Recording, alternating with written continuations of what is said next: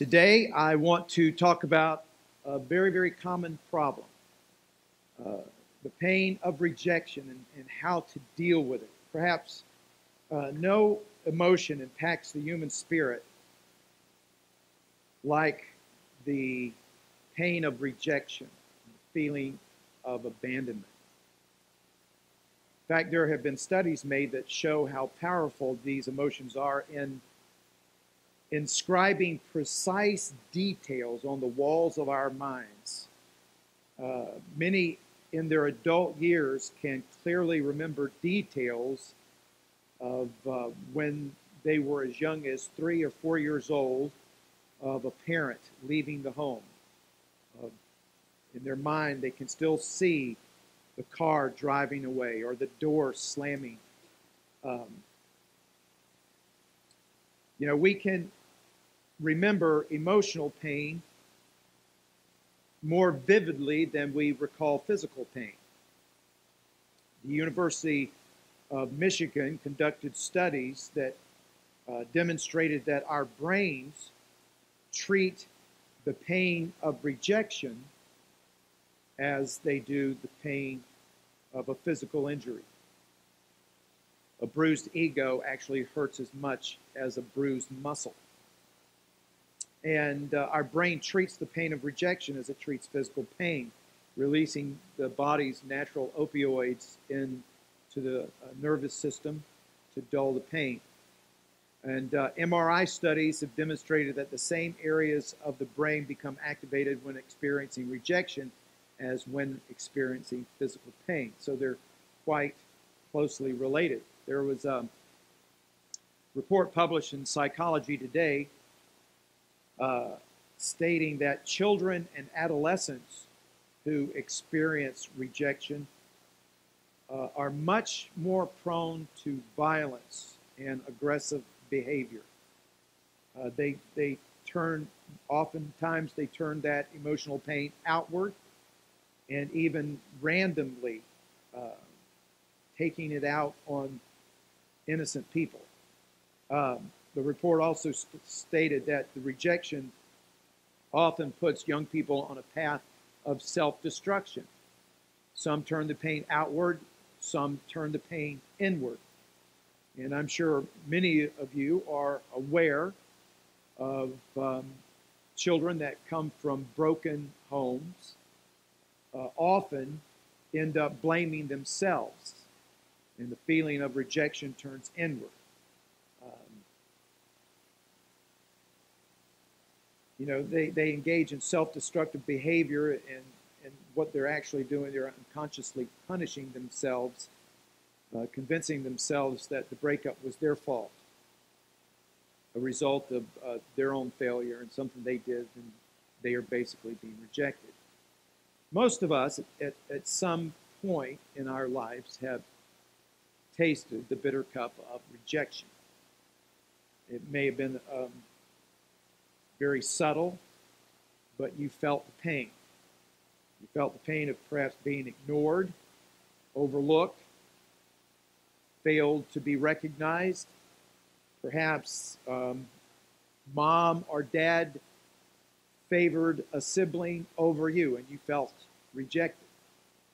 Uh, maybe it was a close relationship that ended in being rejected.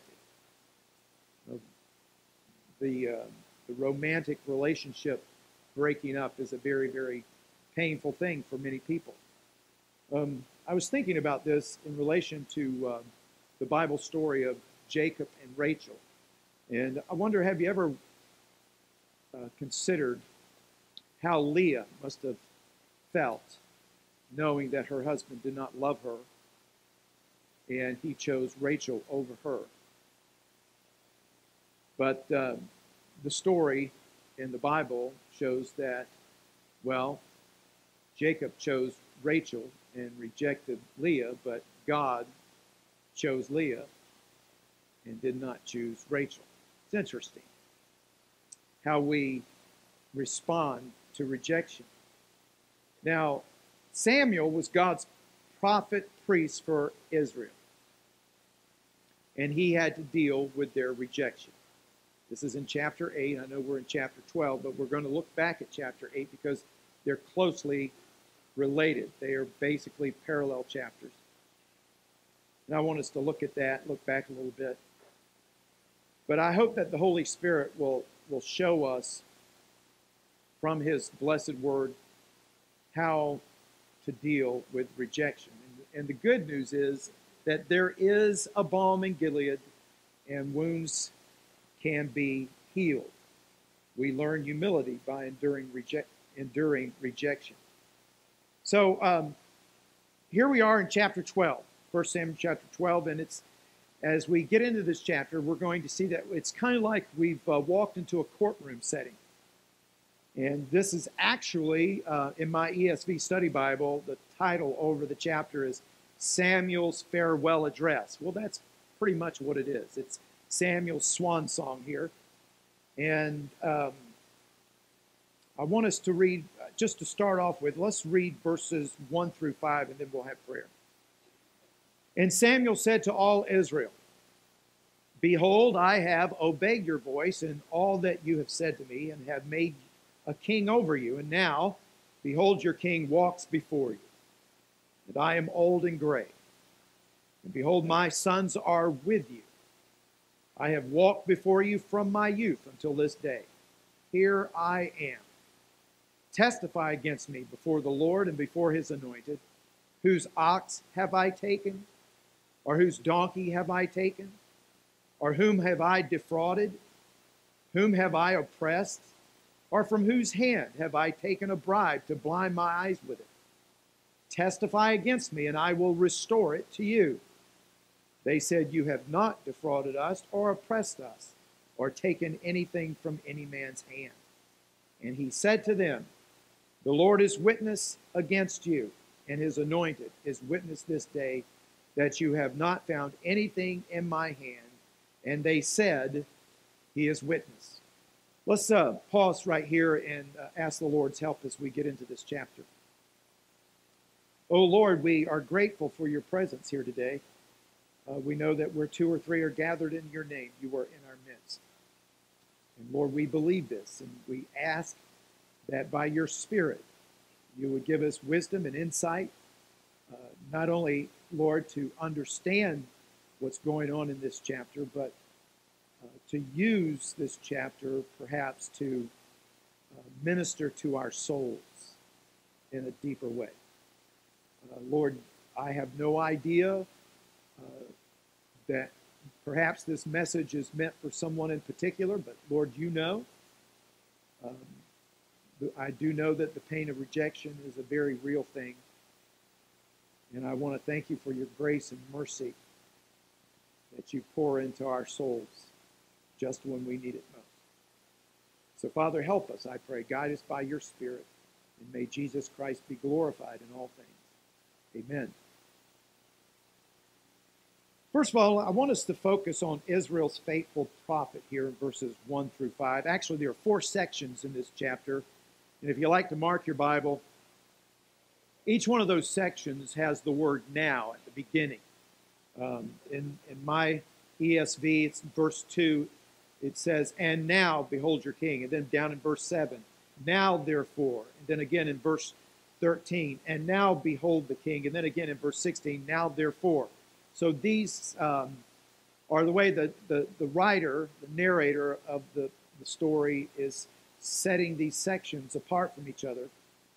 And in this first section, Samuel basically puts himself on trial. And he does this to establish his own credibility and to demonstrate to the people that he has earned the right to be heard. Okay?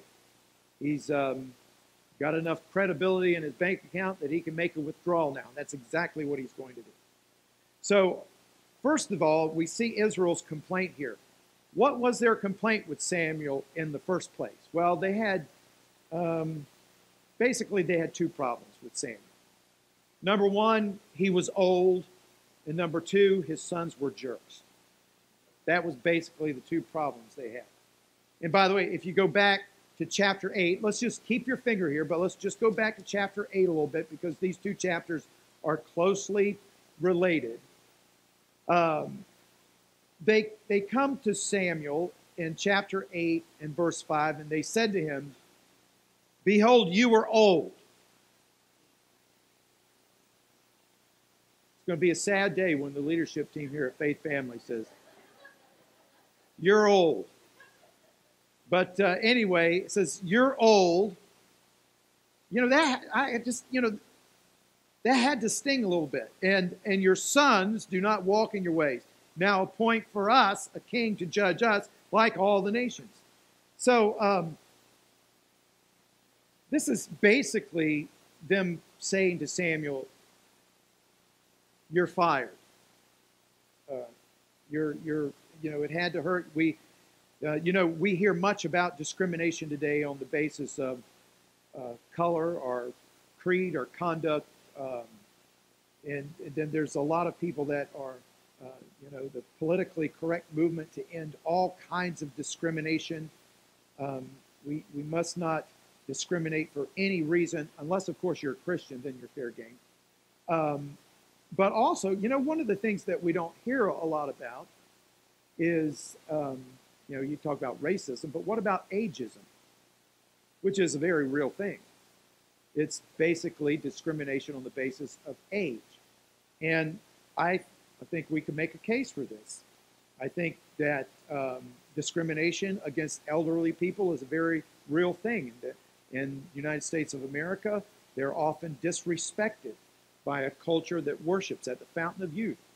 And um, so, anyway, this is the personal rejection that Samuel's dealing with here. And they, they failed to, this is the, the thing, they were so wrapped up in kings like everybody else had. They didn't have a king, all the other nations had kings. They were so wrapped up in this that they didn't realize that it wasn't, it wasn't Samuel's physical capabilities that was so valuable as was his spiritual capabilities. And um, again, you go back, uh, we won't take time to go back to chapter 8, but back in chapter 8, when the Philistines come against them, what did they? They cried out to Samuel, pray for us. And he prayed for them, and God brought an incredible victory for them. So, the, the value of this prophet priest guy by the name of Samuel was his spiritual strength and his relationship with God and as the spiritual leader of the nation. Of course, they obviously felt, look, dude, you're, you're past your prime.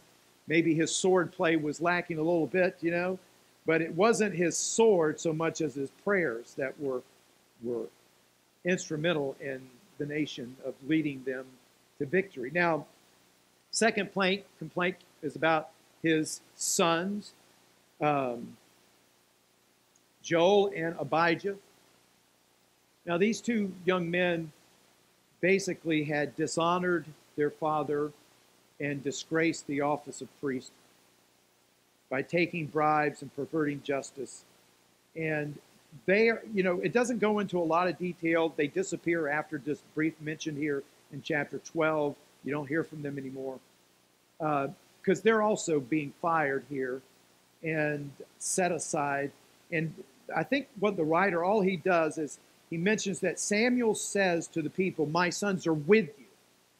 That is, they're with you, they're part of you, they're not over you anymore, they're with you. And uh, a lot of Bible scholars say that that is a subtle message of saying that the sons of Samuel now are being set aside. We're, they're basically saying, We're done with judges, we're done with priests, we want a king like all the other nations. And by the way, you know, judgeship See, here, here's another thing. They were actually failing to trust God because Samuel's sons were not, even though he had appointed them, and I think that was a mistake, judgeship was not an inherited office. It was not like there was no judge dynasty thing going on here. A judge was a person that was raised up specifically by God for Israel in their time of need. But Apparently, they're not trusting God to be that to them anymore. They want a king like all the other nations. Now, uh, so we see their complaint, but then the second thing we see here at the beginning of this chapter is not only the complaint of the people, but the character of Samuel. Now, he puts himself in the dock, and the people are the prosecutors, and the judge and jury would be the, the Lord and the Lord's anointed. And he calls for witnesses against himself. But none, nobody's coming forward to point a finger of accusation against Samuel. Actually, this reminded me of Jesus when Jesus said to the religious leaders of his day, Who convinceth me of sin? I mean, that, remember that that's got to be, that was a pretty powerful point to me of, in the life and ministry of Jesus. He said to everybody, He says, Who can point a finger at me that showing that I have done anything wrong? Nobody could. Same thing here for Samuel. Nobody could point a, a finger of accusation. And there, I think there are two reasons why Samuel actually did this. Uh, first of all, I think he is contrasting what they had with what they're going to get. Because remember when they wanted a king, he told them what kind of king they were going to get. And six times in that chapter, okay, you're going to get a king and he's going to take, take, take, take, take. He's going to take your sons. He's going to take your daughters. He's going to take your vineyards. He's going to take your flocks. He's just going to raise your taxes. He's going to be taking. And so Samuel, in contrast, he's saying, What have I taken? Whose donkey have I taken? Whose ox have I taken? Who, who have I defrauded in any way? And so he's using this to show that what they had under God's rule through the judges is very, very different from what they're going to have by demanding a king now to be over them. Uh, you're going to get a king and you're going to get taxes, you're going to get the draft, and you're going to get your property confiscated. I think another reason why he did this is to provide the, the moral authority for what he's about to say to them. He is, um, look, there was absolutely no evidence of wrongdoing in his long career. Remember, he started as a little kid, being raised by Eli at the tabernacle and um, there was there was no evidence. There were no payoffs, no bribery, no scandals, no deleted emails. I'm sorry, I shouldn't have said that. He has faithfully served, and his track record completely exonerates him before the people. And um, actually, this is like this is a very important chapter because basically you're seeing the final nail driven into the coffin of judgeship. The judges will no more be. Now we're entering, we're going from the period of the judges to the period of kings. And uh, Samuel's character is above board. So he has the right, he, he has earned the right to address them and say what needs to be said. All right? So the second thing I want you to see is he talks about Israel's foolish or failed past, verses 6 through 12. verse 7, he says, And now therefore stand still that I may plead with you. Now, uh, laying aside his judge's hat, he's going to now put on his prophet hat. And he's going to deliver a very stern admonition. He's basically now the defendant has turned prosecutor here in the courtroom. And Israel's history basically was enough evidence. Their own past testified against them.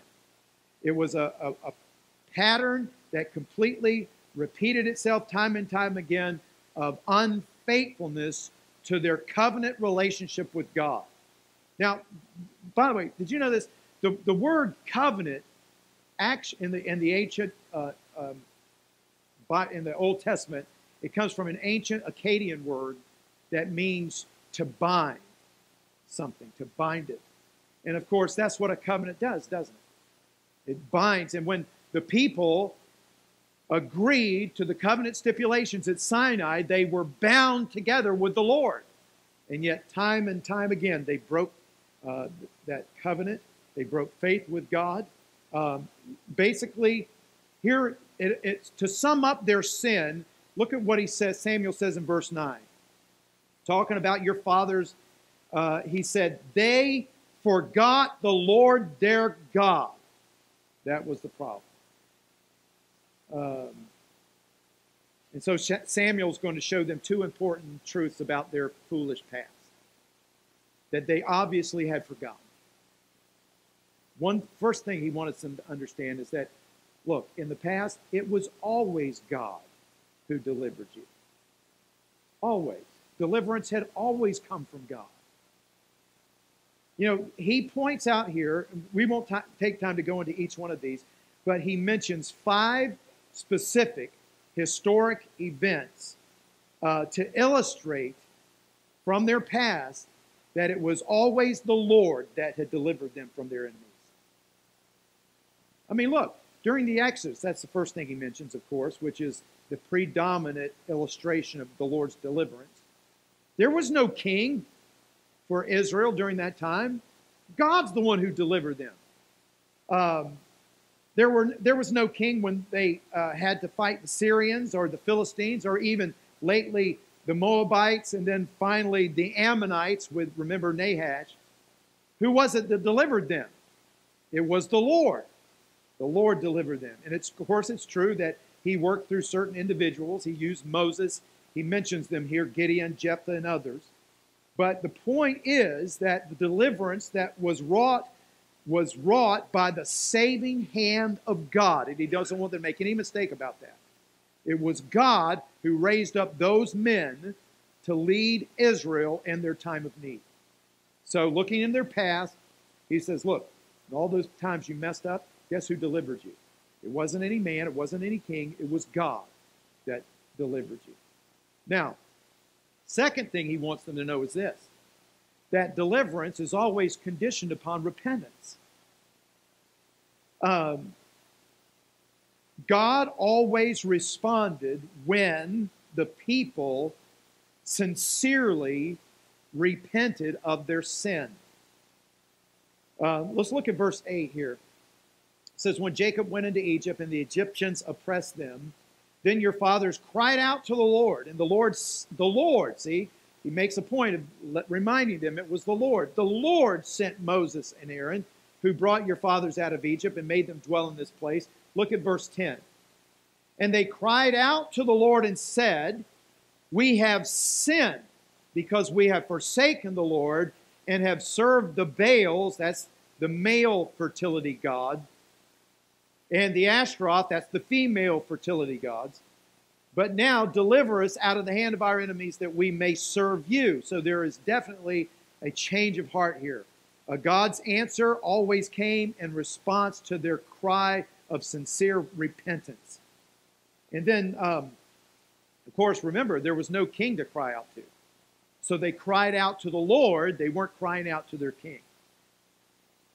And then look at verse 12. Verse 12 is pivotal here because it states very clearly that their rejection of Samuel was ultimately a rejection of God. Let's look at verse 12. And when you saw that Nahash, the king of the Ammonites, came against you, you said to me, No. By the way, that's a big fat no pointed toward God. No, but a king. In other words, not God. We're done with you, Samuel. We want a king like all the nations, but a king shall reign over us. And then he states it very clearly when the Lord your God was your king. That's not good enough. So this was a horrible, horrible sin. And uh, by the way, the incident with Nahash the Ammonite was different because it kind of broke the pattern. Because now the people are not crying out to God, they're crying out to Samuel. And they don't want God, they want a king. They want to find their deliverance in a man instead of God. He's, they're basically saying, Samuel, we don't want you anymore. We don't want we don't want God anymore. We want a king, even though God had been their king. This, folks, listen, I, I cannot stress enough how incredibly sad and tragic this is in Israel's history. And you know, by the way, it's a lesson for all of us today. Because when, um, when we need help, when we find ourselves in trouble, who do we turn to? Who do we turn? Do we do we start looking to people or do we look to the Lord? I can't help but wonder how many times we fail to see God do amazing things in our life because we did not we failed to seek His help. I will lift up my eyes into the hills. From where does my help come? My help comes from the Lord who made heaven and earth. Listen, help comes from God in answer to prayer. It's a response to a humble and contrite heart. So he's addressing them with their past. Then I want you to notice, thirdly, Jehovah's fearful promise. Verses 13 through 19. Again, verse 13, and now. It's another section. And uh, here, there's two things here I want to point out. First of all, um, God's going to give them an ultimatum, sort of. So, first thing I want you to see is the Lord's demand for obedience. Um, and now, behold, the king whom you have chosen, for whom you have asked, behold, the Lord has set a king over you. Then notice this if you will fear the Lord and serve him and obey his voice and not rebel against the commandments of the Lord, and if both you and your king who reigns over you will follow the Lord your God, it will be well. All right? Remember, the, the request for a king was not wrong in itself. God, in Deuteronomy 17, he had made provision for Israel to eventually have a king. But their desire for the king, their, what was wrong was their motive. Their motive was that they wanted to be like all the other nations when God wanted them to be set apart from all other nations. So Samuel lays down only uh, two alternatives for Israel you can obey or you can rebel. By the way, the rule, the rule applied not just to the people, but it also, did you notice this? It also applied to the king. As a matter of fact, in the divine stipulations for the king in Deuteronomy chapter 17, the king was instructed by God to have his own copy of the law. He was to be, he was to be the one who would set an example for the people as their ruler. You know, it, it always comes down, though, to these two alternatives, even for you and me. Only two choices on the shelf pleasing God or pleasing self. Obedience or disobedience. That's it. Um, obedience brings God's blessing, disobedience brings God's chastening. Um, you know, what was true for Israel 3,000 years ago is still true for you and me today. The path of blessing is always obedience to God's authority and his rule in our life. So the Lord's uh, demand for obedience, and secondly, the Lord's demonstration of power. Because if there's any question whether or not God can back up his, his threat, if you will, um, here, Samuel, acting as a prophet, calls on God to give a sign. You know, now why, why did he need to do this? Why, why couldn't Samuel just say, look, okay, you have your king, and um, as God's spokesman, I'm here to tell you that if you if you follow the Lord and you fear the Lord and you serve him faithfully and you keep his commandments, you and your king it's all good. We're all good. Um, but if you don't, all of those covenant curses in Deuteronomy, they're going to fall on top of your head. No, no, no. He wanted, it, you know what it was like? Here's how Samuel felt. You say, How do you know how? I don't know, but when we get to heaven, you'll see I'm right about this. Have you ever argued with someone, like perhaps a child? Have you ever argued with someone who's already made up their mind? You, you, lay, you lay out this beautiful case. It's logical, it makes sense. And they're looking at you, and you know, oh, well, they just won't listen to reason. I think that's what Samuel felt. And so he said, I'm going to show you, God's going to demonstrate that He has the authority and power to back up what He says. In other words, they needed some convincing.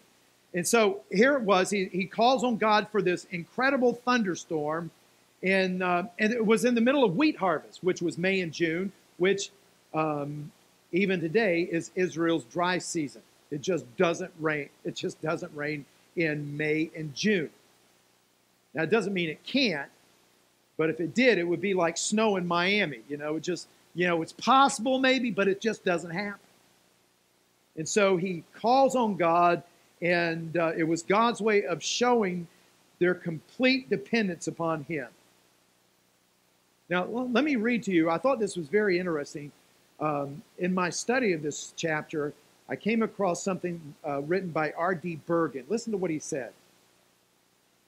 They, that is Israel, understood this disruption of the God ordained pattern for the natural world to mirror Israel's disruption of the God ordained pattern of relationship that was to exist between the nation and the Lord.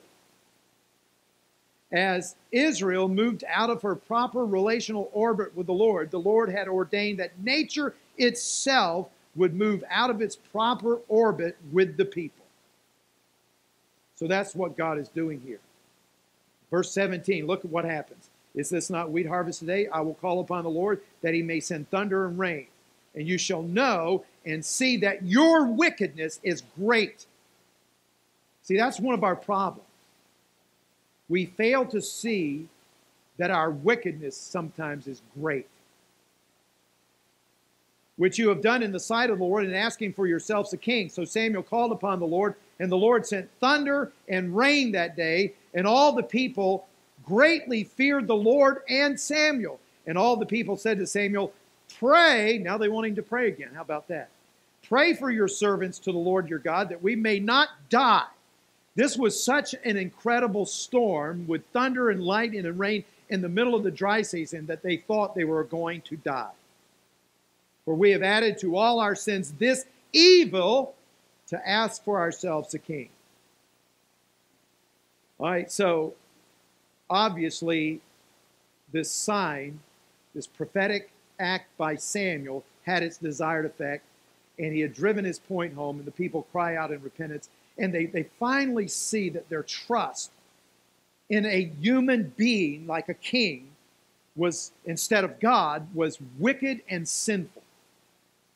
And so they cried out to Samuel to intercede for them, and uh, so that God would not strike them all dead. You know, sometimes I think the Lord has to do some pretty powerful stuff to get our attention.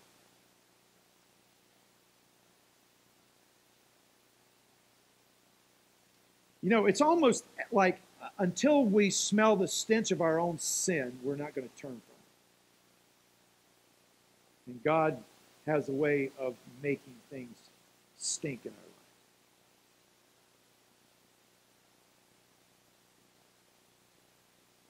So the Lord demonstrated his power. Then, last of all, Samuel's final plea, verses 20 through 25. Um, first of all, I just I'll briefly touch on this. He gives them a reminder. He allays their fears by reminding them, look, it's not like you haven't been here before. God is faithful. He will restore. He will forgive. Um, you know, and then he. This is what I think is pretty amazing. Look what it says here in verse 20. And Samuel said to the people, Do not be afraid. You have done all this evil, yet do not turn aside from following the Lord, but serve the Lord with all your heart, and do not turn aside after empty things, that's idols, that cannot profit or deliver. That's the Baals, the Ashtaroth. For they are empty. And then notice he reassures them, For the Lord will not forsake his people for his great name's sake. You know what Samuel's saying? Look, it's not about you anyway. You exist as a nation, as God's peculiar treasure. You exist as God's people so that the, all the other nations will know what God is like, so that you can be a light to the other nations. You do not exist for your own sake, you exist for the sake of God. And then um, he says, because it has pleased the Lord to make you a people for himself. So um, he reminds them. Then his notice not only his reminder but his resolve. He also assures them that his role is not going to change, in spite of their rejection, which is amazing. I think if it had been you or me, we would have said, "Good riddance, fire me, I'm out of here." Not saying. not Samuel. He says, uh, God forbid that I should sin against the Lord in ceasing to pray for you, but I will teach you the good and the right way. Verse 23. Wow.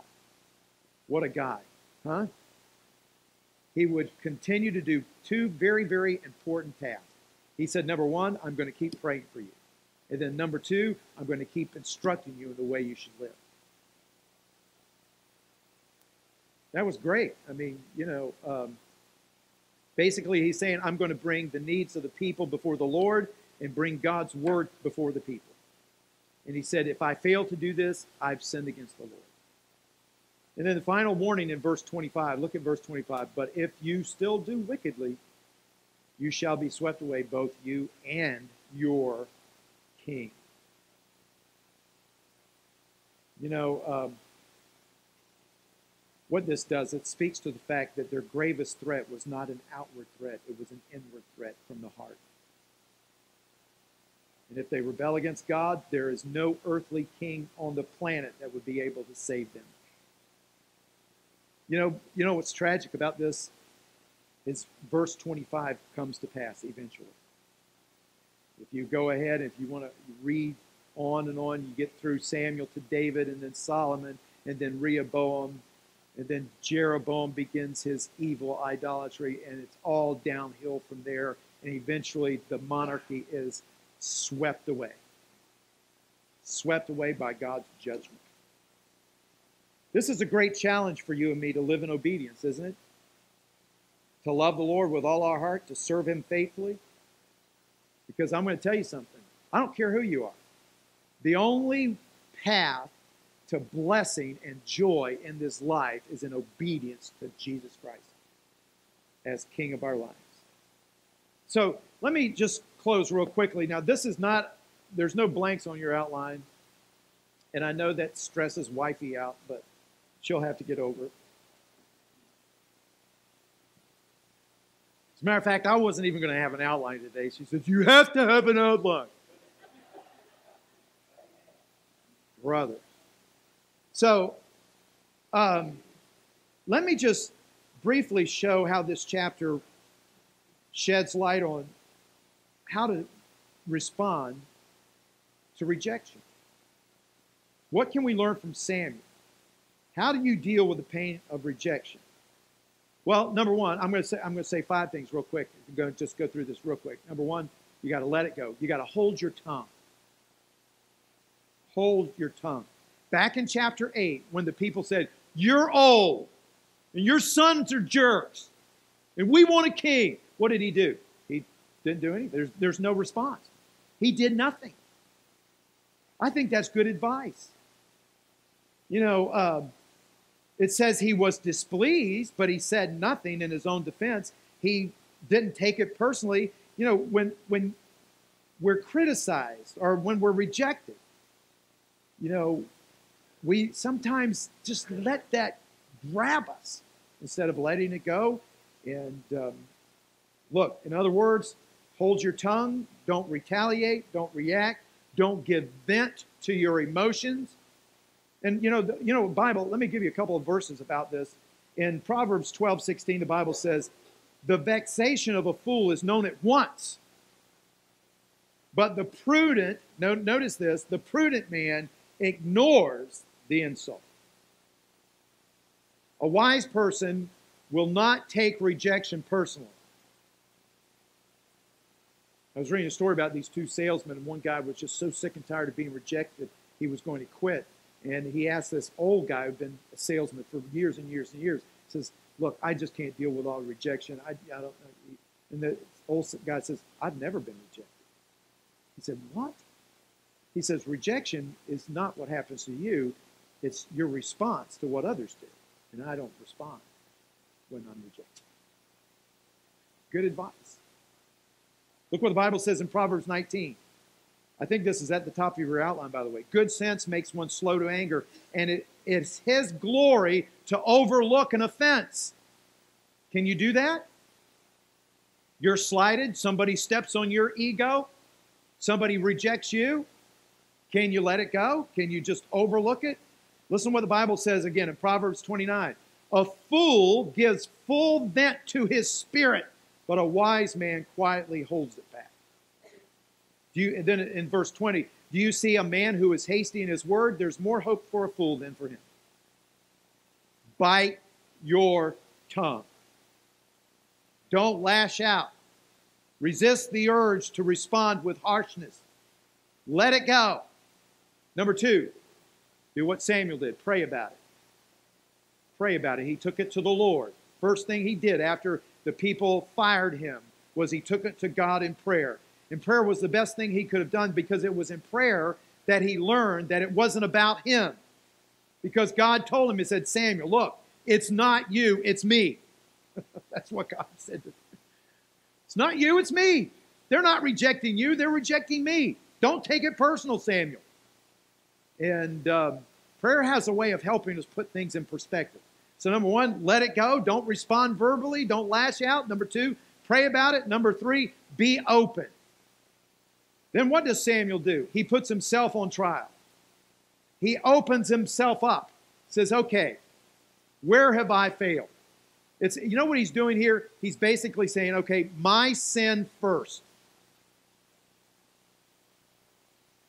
You know, uh, and he says, I want to know any particular sin I may have committed against you. Now, note, I think this is important to, I want a little caveat here. He didn't say, Now, who have I disappointed? Because that wasn't the issue. It's impossible to live life without disappointing someone. You will never live up to everybody's standards. And if you try to do that, you might as well check in to the funny farm. You'll go out of your mind trying to please everybody. So he wants to know is there any specific sins? In other words, he's basically saying, okay, my sin first. Before I understand that before I can remove the speck out of my brother's eye, I need to get the plank out of my own eye. So if you're rejected, look in your own heart. Deal with your own sin first. Number four, press on. Press on. Don't quit.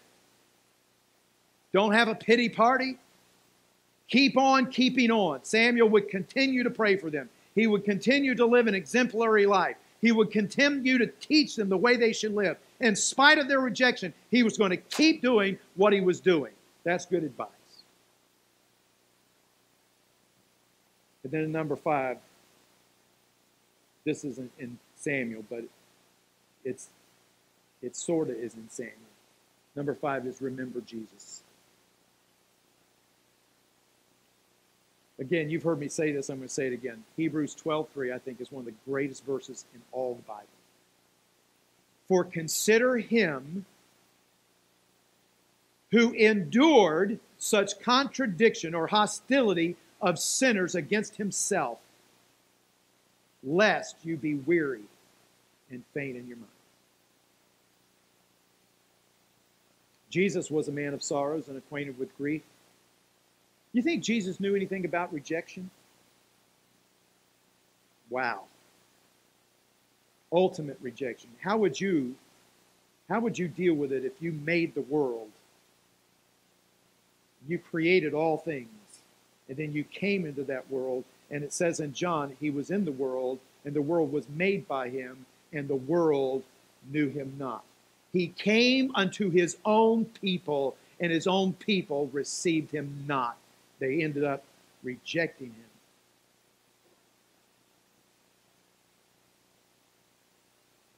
It's unbelievable. I wonder, you know, could it be that Jesus allowed you to feel the pain of rejection so that you might better understand his love for you? Because he was rejected so that you'd never have to be. He was abandoned so that you would never have to be.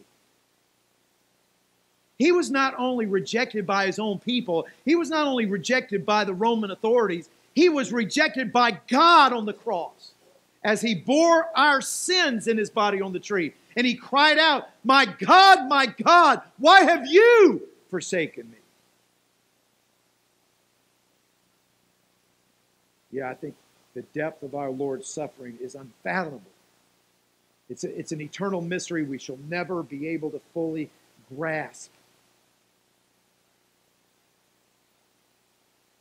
So look to the cross. Run to the cross if you've never been there. Embrace the cross where Jesus suffered and died for you. The one who experienced such rejection, such hostility and abandonment, so that you would never have to. And Jesus said, He that comes to me, this is John 6 37, what a precious promise. Jesus said, Whoever comes to me, I will never cast out. He says to us, I will never leave you nor forsake you. Let's pray. Father in heaven, thank you for this wonderful story in, in the book of Samuel, what we learn from it, how something that happened 3,000 years ago is so relevant to life in 2016. Lord, I pray uh, that your Spirit, Lord, would minister to the hearts that may be hurting here today. Lord, there's no question in my mind that there are people here today that still bear the scars of rejection in their hearts. I pray that your grace might be poured into their life, that your spirit might minister to them, and that through that pain that they experience, they might better grasp your love for them, since you were willing to experience rejection so we could be accepted by God. Before I close my prayer, maybe I'm speaking to someone and you don't know that you're a Christian. You don't remember a time when you personally responded to Jesus, his, his speaking to your heart. Maybe there's a desire. And the way, the way he speaks to our hearts is he puts a desire in our hearts to know him. And if that desire is in your heart today, I wonder if you've never opened the door of your heart to Him, would you open it today? Jesus said in Revelation chapter 3, I'm standing at the door and knocking. If anyone will hear my voice and open the door, I'll come in. John 6 37, he says, Whoever comes to me, I will, I will never cast out. So I wonder, dear friend, if you've never received Jesus, would you do so today? Just call out to him in your heart. Say something like, Dear Jesus, today by faith, I open my heart to you. I surrender my life to you. I believe that you died for me on that cross, that you suffered in my place, that you were buried and rose again. I believe that. And today, I trust you as my Lord and Savior.